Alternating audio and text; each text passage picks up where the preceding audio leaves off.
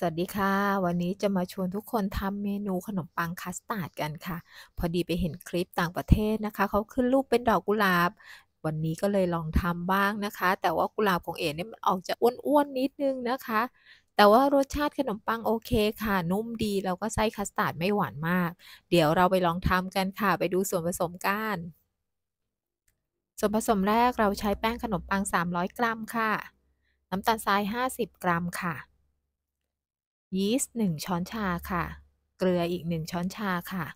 เนยสด 50 กรัม หรือจะใช้เป็นมาการีนที่ไขมันทรานส์ 0%ก็ได้ค่ะ ไข่ไก่1ฟองเราใช้เป็นเบอร์ 2 ค่ะ แล้วก็นมสด 160มิลลิลิตรค่ะ เริ่มต้นเรานำนมสดไปอุ่นก่อนนะคะ จะอุ่นในไมโครเวฟก็ได้ หรือเอาใส่หม้อตั้งอุ่นก็ได้แค่พออุ่นเท่านั้นใช้นิ้วแตะได้นะคะ แล้วก็ใส่น้ำตาลทรายลงไปค่ะ ถ้าเราอุ่นมากเกินไปเนี่ย เดี๋ยวยีสต์เขาจะตายนะ หลังจากนั้นตีไข่ค่ะ แล้วก็เทใส่ลงไปค่ะ แล้วก็คนให้เข้ากันค่ะค่ะหลังจากนั้นเราก็ใส่ยีสต์ลงไปค่ะ โรยให้ทั่วนะคะ แล้วก็คนเขาสักนิดนึงค่ะ แล้วพักเขาไว้สักครู่ค่ะ มาดูในส่วนของของแห้งนะคะ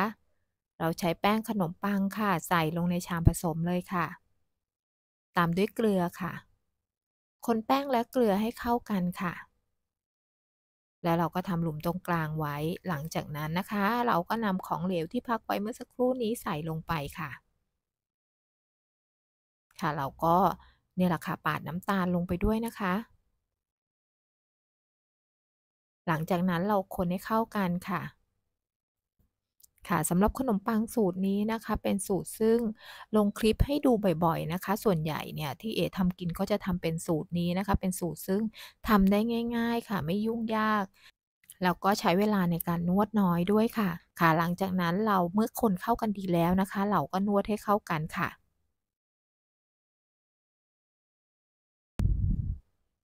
ค่ะ หลังจากนั้นเราใส่เนยสดหรือว่ามาการีนลงไปค่ะ ใครที่ใช้มาการีนก็เลือกเป็นมาการีนที่มีไขมันทราน 0%นะคะ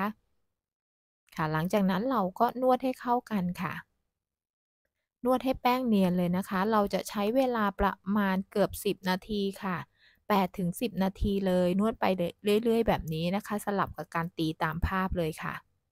นี่แหละค่ะ ตีแล้วก็พับแป้งแบบนี้นะคะ หรือว่าใครจะใช้วิธีการนวดอย่างเดียวก็ได้ แต่ถ้าตีแล้วพับแป้งแบบนี้สลับกับการนวดเนี่ยก็จะทุ่นแรงเราค่ะเรายิ่งนวดนะคะ กลูเตนเขาทำงานเนี่ยก็จะทำให้ขนมปังของเราอะนุ่มมากขึ้นนะคะ ค่ะ เมื่อนวดเนียนได้ที่แล้วประมาณนี้นะคะ หลังจากนั้นเราคุมผ้าพักไว้ 50 นาทีค่ะ เมื่อครบ 50 นาทีแล้วโดเขาก็จะขึ้นฟูเป็น 2 เท่าแบบนี้เลยค่ะ เรากดเพื่อไล่ลมค่ะ ค่ะ เมื่อไล่ลมเสร็จแล้วนะคะ เราก็นำมาคลึงค่ะ ให้โดเขาเนียนค่ะ คลึงเป็นก้อนกลมแบบนี้เลย เพราะว่าเดี๋ยวเราจะตัดนะ ก็คือให้โดเนียนลักษณะแบบนี้เลยค่ะ หลังจากนั้นกดให้โดเขาแบนลงไปสักนิดนึงค่ะ ค่ะ แล้วเราก็ตัดค่ะ เราจะตัดเป็น 4 ชิ้นใหญ่แบบนี้นะคะ ค่ะแล้วก็แต่ละชิ้นเราก็จะตัดแบ่งเป็นชิ้นเล็กๆ อีก 4 ชิ้นค่ะทำตามภาพเลยสำหรับขนาดนะคะของโดวันนี้นะ ที่เป็นชิ้นเล็กๆ เนี่ย เอจะชั่งประมาณ 50 กรัมนะคะ ก็จะได้ขนมประมาณ 11 ชิ้นค่ะ ค่ะ ถ้าทำกินเราไม่ต้องชั่งก็ได้นะคะ แต่ถ้าทำขายเนี่ยแนะนำว่าให้ชั่งนะคะ ก็จะได้น้ำหนักที่เท่ากันทุกชิ้นนะ มีใครเคยนำขนมปังสูตรนี้ไปทำกันบ้างคะ ลองทำกินกันบ้างหรือยังแม่เอ๋ลงคลิปให้ดูหลายครั้งหลายสูตรแล้วนะ ใครลองทำแล้วมาคอมเมนต์บอกกันได้นะคะ ว่ารสชาติเป็นยังไงถูกใจไหมนุ่มไหมนะคะค่ะหลังจากนั้นนะคะ เมื่อตัดเป็นชิ้นเล็กๆ แล้วเนี่ยเราก็นำมาคลึงกลมแบบนี้ค่ะ ค่ะ แล้วก็วางพักไว้ทำจนเสร็จเลยค่ะ ค่ะ เมื่อเสร็จแล้วนะคะ เราก็จะมาขึงแป้งให้เนียนอีกครั้งค่ะ ค่ะ เราก็จับมุมด้านข้างเขายัดลงไปตรงกลางนะคะ ค่ะ แล้วเราก็คลึงให้เนียนค่ะ ค่ะ คลึงโดให้เนียนตามภาพเลย ค่ะ จับมุมนะคะ แล้วก็ยัดลงไปตรงกลางด้านล่างเลยค่ะ ด้านก้นเขานะคะ แล้วก็คลึงให้เนียนค่ะทำแบบนี้จนเสร็จเลยค่ะ ค่ะ อันนี้ก็เสร็จแล้วนะคะ ค่ะ หลังจากนั้นนะคะ เดี๋ยวเราจะมารีดตัวโดของเราให้เป็นแผ่นกลมๆบางๆกันค่ะ โดที่เหลือเราหาผ้าคลุมไว้นะคะ เขาจะได้ไม่แห้งนะ เนี่ยค่ะ เราก็รีดให้เป็นแผ่นกลมๆแบบนี้เลยค่ะ ค่ะ เราก็พยายามจับเขานะคะ พลิกด้านซ้ายด้านขวานะ เพื่อที่ว่าเวลาที่รีดเนี่ยเขาจะได้ออกมาให้มีลักษณะกลมให้มากที่สุดนะคะ เมื่อรีดได้ด้านนี้แล้วเราพลิกกลับด้านค่ะ เอาด้านล่างขึ้นมานะคะ เพราะว่าด้านบนเมื่อสักครู่นี้เนี่ยเขาเนียนกว่านะ เราจะเอาไว้ด้านนอกนะ เราก็ขึงพยายามขึงให้เขามีลักษณะกลมค่ะ แล้วเราก็ตัด4มุมตามภาพเลยค่ะ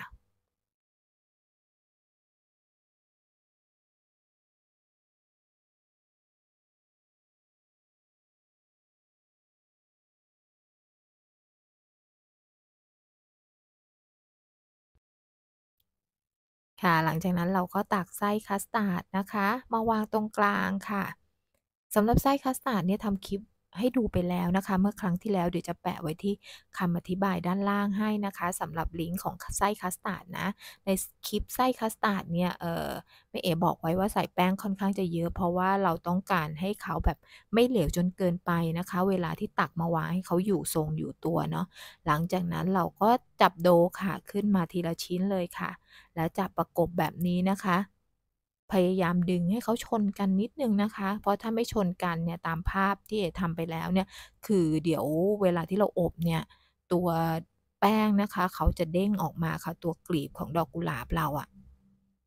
ค่ะ อันนี้คือสาเหตุของการนวด 10 นาทีนะคะ ก็คือต้องให้กลูเตนเขาทำงานนะ ไม่เช่นนั้นแหละเราจะไม่สามารถดึงโดแบบนี้ได้นะคะ ไม่สามารถดึงยืดแป้งแบบนี้ได้เขาจะขาดนะ ค่ะ ก็ได้ประมาณนี้เลยค่ะ นี่ก็ก็จะได้เป็นรูปลักษณะแบบนี้นะคะ อยากจะได้เป็นกุหลาบนะคะ แต่ออกมาเป็นดอกอะไรอ้วนๆก็ไม่รู้นะคะ ค่ะ เดี๋ยวทำให้ดูอีกชิ้นหนึ่งค่ะสำหรับการขึ้นรูปนี่เพื่อนๆขึ้นรูปตามที่เราชอบได้เลยนะคะ จะนำไส้มาห่อเป็นชิ้นกลมๆคล้ายๆซาลาเปาก็ได้ค่ะ ค่ะเราก็คลึงโดให้ลักษณะกลมๆนะคะค่ะแล้วเราก็ตัด4มุมค่ะ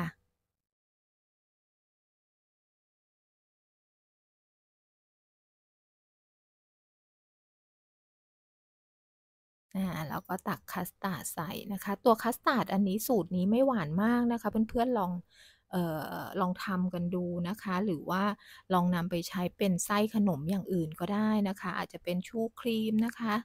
เป็นเอแคร์อะไรอย่างเงี้ยนะคะทำได้เหมือนกันไส้พวกพัฟครีมพัฟต่างๆนะคะค่ะเราก็ห่อตามภาพเลยค่ะ ถ้าเกิดว่าจะขึ้นรูปแบบนี้นะคะสำสำคัญเรื่องการนวดแป้งนั้นเพื่อนนวดให้กลูเตนเขาทำงานเยอะๆนิดนึงคลิปอื่นเนี่ยอาจจะเห็นว่าเอ๋นนวดไม่ได้มากนะคะ เพราะว่าทำกินเองเนาะก็คือเราแค่ห่อเป็นรูปทรงเฉยๆนะคะ แต่อันนี้เนี่ยมันต้องดึงโดออกมาให้เขาแบบชนกันแบบนี้นะคะ ถ้าเรานวดเขาแป๊บเดียวเนี่ยกลูเตนยังไม่ทำงานเต็มที่เนี่ยเวลาดึงออกมาเขาก็จะขาดนะคะ ค่ะ อันนี้ก็เสร็จไปอีก1ดอก นะคะทำจนเสร็จเลยค่ะเพื่อนๆ ก็จะได้เต็มถาดแบบนี้นะคะ หลังจากนั้นนะคะเดี๋ยวเราจะนำไปอบกันค่ะ ค่ะจะได้รูปทรงแบบนี้เลยก่อนที่จะอบนะคะ เอเห็นว่าโดเขาค่อนข้างจะแห้งนะ ก็เลยใช้นมสดค่ะนี่แหละค่ะตักโรยเขานิดนึงใครจะใช้เป็นเอ่อเป็นแปรงทาก็ได้ค่ะ แต่รู้สึกว่าคือโดเขาแห้งค่อนข้างจะมากก็เลยตักตักนมนะคะแล้วก็เทลงไปแบบนี้เลย หลังจากนั้นนำเข้าเตาอบอุณหภูมิ 170 องศาเซลเซียส ประมาณ 20-25 นาที แล้วแต่เตานะเตาแต่ละบ้านอุณหภูมิต่างกัน อบออกมาก็จะได้ขนมปังหน้าตาแบบนี้เลยค่ะ เนื้อสัมผัสนุ่มๆนะคะ ไส้ไม่หวานมากค่ะ ละมุนอร่อยนะคะ ใครจะนำไส้ไปทำซาลาเปาก็ได้เป็นขึ้นรูปขนมปังเป็นแบบอื่นๆก็ได้ค่ะ ค่ะก็เสร็จแล้วได้หน้าตาแบบนี้เลยนะคะ ค่ะสำหรับใครที่ทำแล้วกินไม่หมด พักเข้าไว้ให้อุ่น เก็บใส่ภาชนะปิดฝาพักไว้ในอุณหภูมิปกตินะคะ แล้วก็รุ่งเช้านะคะ สามารถกินได้ขนมปังอย่างนุ่มเหมือนเดิมค่ะค่ะหากเพื่อนๆชอบคลิปนี้ฝากกดติดตาม กดไลค์กดกระดิ่งทุกๆ ช่องทางทั้งยูทูบเฟซบุ๊ก TikTok และ IG นะคะสำหรับคลิปนี้ขอบคุณและสวัสดีค่ะ